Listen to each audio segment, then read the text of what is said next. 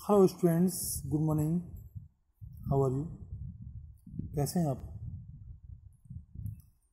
Today I teach you second chapter of science class seventh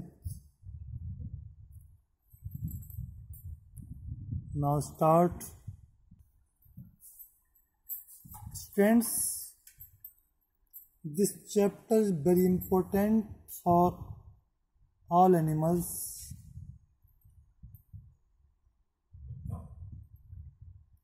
क्योंकि इस chapter में nutrition के बारे में बताया गया है।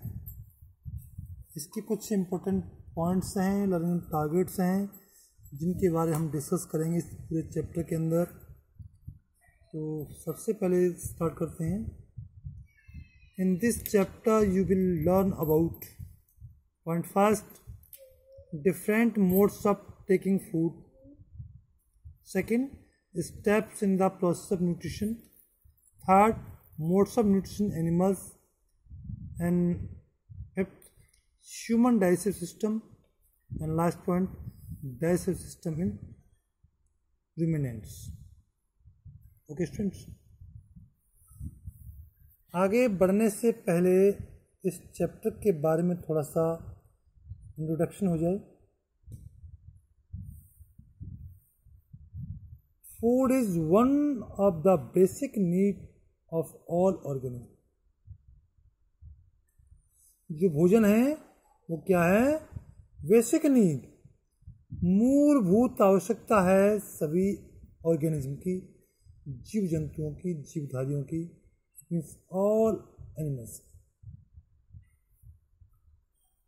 चाहे वो सिंगल सेलुलर एलिमेंट एनिमल्स हों या मल्टी सेलुलर ओके अर्थात या वो एक कोष की प्राणी हो या बहुकोष की प्राणी हो, भोजन की आवश्यकता सबको होती है।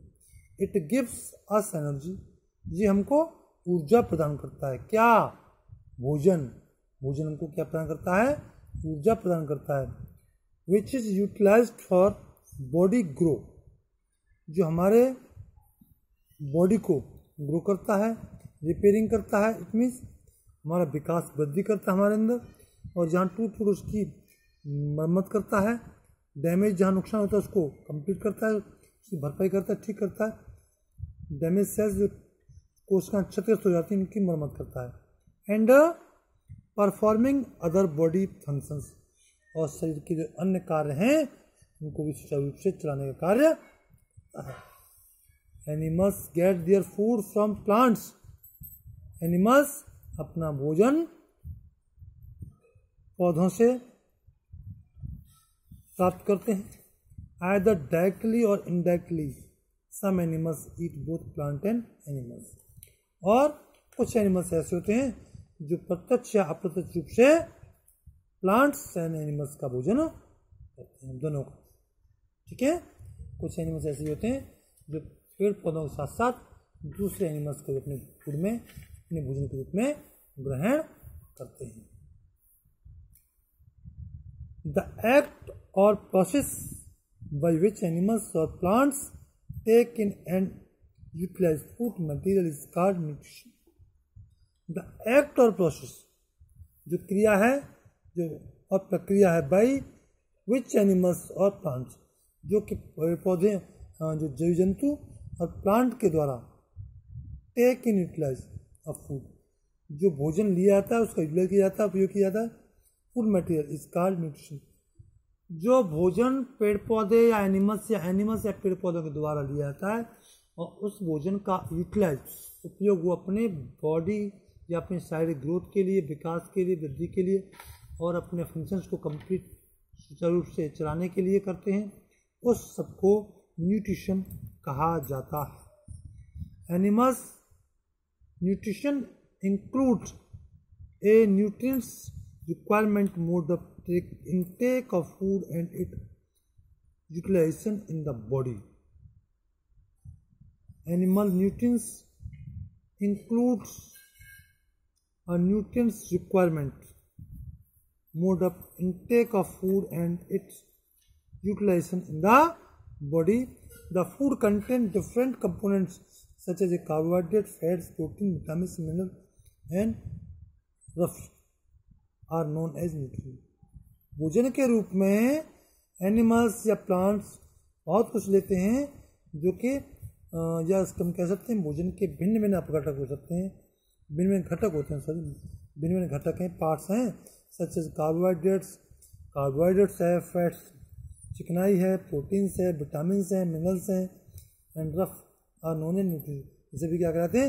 ये सभी पोषक तत्व कहलाते हैं।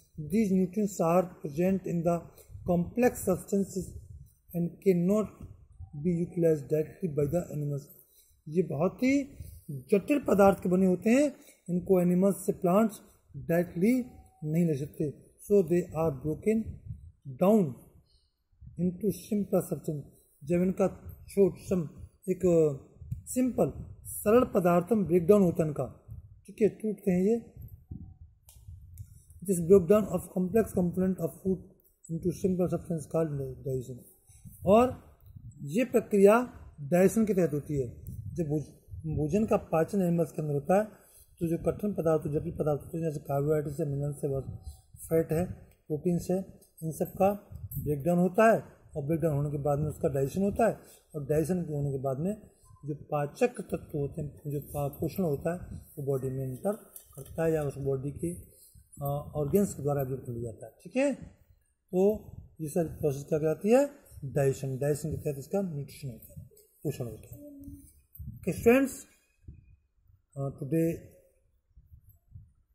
दैट्स लास्ट कल आपको बताऊँगा मैं। चल थोड़ा सा बता दूँ थोड़ा सा मिस हो जाएगा ये।